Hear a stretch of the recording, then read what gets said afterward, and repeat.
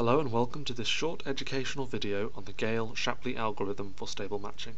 The information in this video is drawn from the sources referenced in the information box below. First off, a short introduction. The Gale-Shapley algorithm is a solution to the stable marriage problem, and we must understand the problem to fully understand the solution. In the stable marriage problem, we want to create a set of n pairs using two sets of n people, with one person from each set appearing in each pair. Each individual may only be paired once, and as such the result will be a direct one-to-one mapping between the two sets of people. The real complexity of this problem arises from individual preferences each person has about who they would like to be paired with from the other set. The challenge is to create a set of matchings for which there are no two people who would prefer to be with each other than their current matchings respectively. To help understand the problem and the algorithm which provides a solution to it, here is an example we have two groups of people, the males A, B, C, D, E, and the females L, M, N, O, P. We need to match all of them in a purely monogamous and, due to the constraints of the problem, heterosexual fashion. For the purposes of this example, and in keeping with the theme of the original problem, this shall be called marriage. As you can see, each person has a list next to their name containing all people from the other set, in order of preference.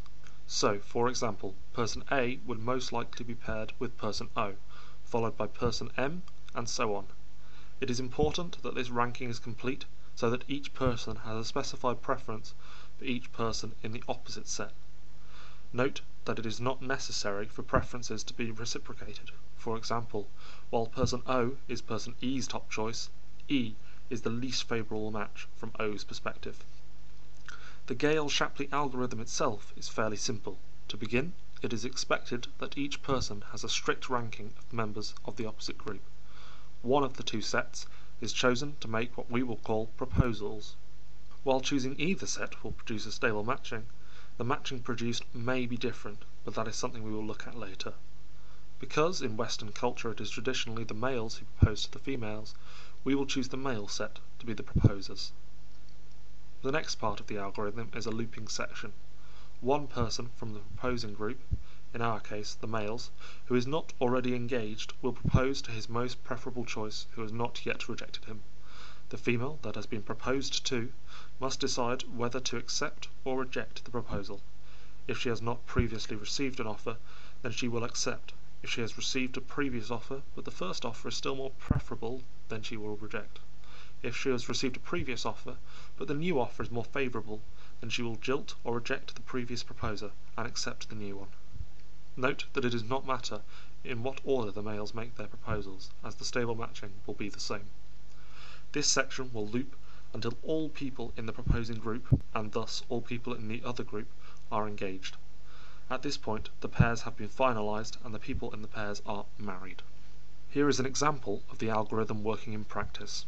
Firstly, A proposes to his most preferable option, O. As O has no better options for the time being, she accepts, and A and O are engaged. Next, B proposes to his most preferable option, P, and as she has not received any better offers, she also accepts. C proposes to M, and she also accepts, due to lack of any other offer. D then proposes to P, however, P has already received a better offer from B, and so she rejects D. Finally, E proposes to O, but as O has already received a better offer from A, she turns him down. At this point, A, B, and C are already engaged, and so do not attempt any more proposals.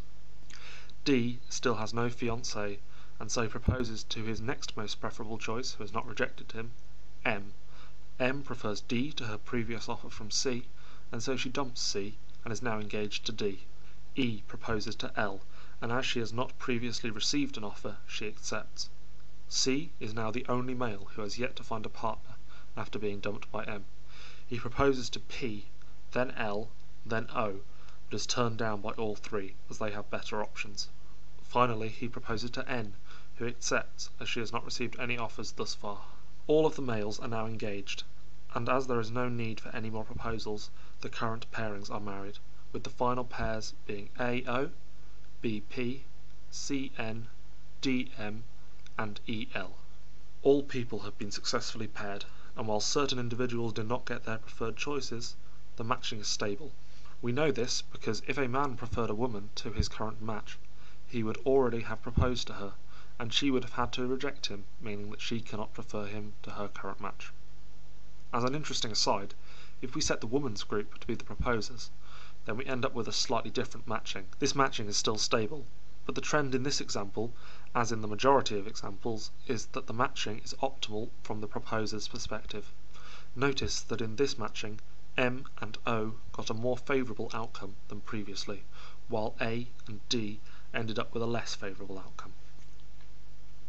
We can see that each member of the proposing group can at most propose to each member of the other group only once, as they cannot propose to those who have previously rejected them all proposals either end in provisional acceptance, which means that no more proposals need to be made, or rejection, whether this is at the time or delayed until a better offer comes along.